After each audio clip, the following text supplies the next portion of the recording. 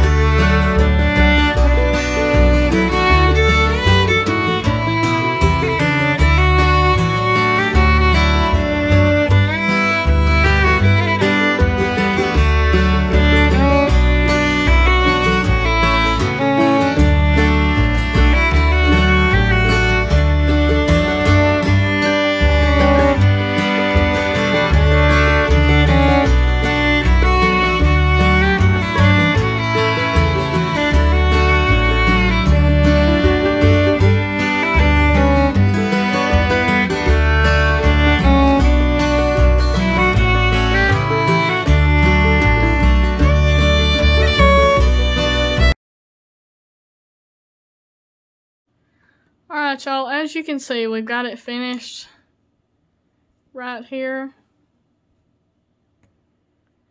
We got it all the way from the bottom to the top. And you can see that there's a lot of gaps now in certain items like the pasta salad, the Pasta Roni. Macaroni could have sauce. a few more, yeah. Spaghetti sauce has been used. We're completely out of fettuccine alfredo. Like there is none of it left. All they can see is an empty pizza box there. Yeah. So since we have uh, organized and got stuff put back in a place where it's supposed to be, we can see that there's quite a few things missing and quite a little bit of stuff that we need to restock up on again. So that's what we're going to do. And when I get that and I purchase that in the next grocery haul, I will show y'all and let you see what I got. So thanks for watching. We will see you in the next video.